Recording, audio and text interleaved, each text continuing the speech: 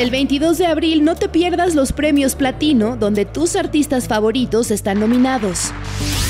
Natalia Oreiro es una de las candidatas a mejor interpretación femenina en una miniserie luego de su increíble transformación en Santa Evita. Vos le diste un lugar a los obreros y a los asalariados. Yo quiero dárselo a las mujeres. Peter Lanzani nunca defrauda y su interpretación del fiscal Luis Moreno Ocampo en Argentina 1985 se lleva todos los aplausos. ¿Cómo demostramos que yo sabía? Otra de las nominadas es Laura Galán, a quien conocemos por su protagónico en Cerdita. La película no ha pasado desapercibida y la actriz tampoco, y por eso se ha ganado un premio Goya. Te esperamos el 22 de abril para vivir la alfombra roja y entrega de los premios Platino por TNT.